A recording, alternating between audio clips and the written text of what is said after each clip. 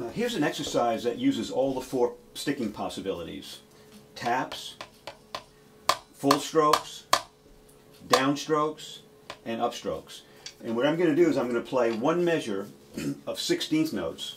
First playing taps, all taps, 1E and uh, 2E and uh, 3E and uh, 4E and uh, second measure I'll play all full strokes, 1E and 2E uh, and 3E and 4E uh, and so I'm playing double strokes with each hand.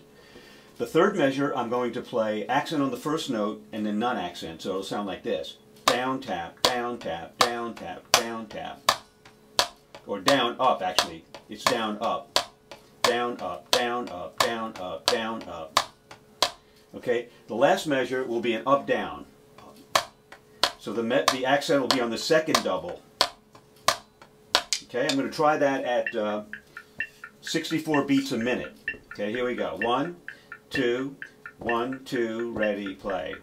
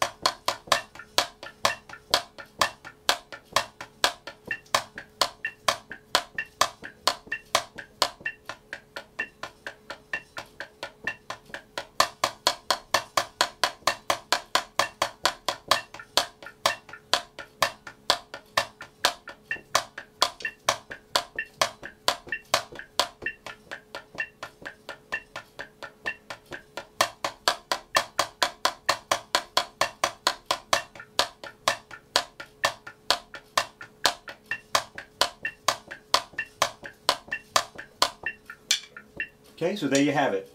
A great control exercise. Give it a try and try it at different tempos.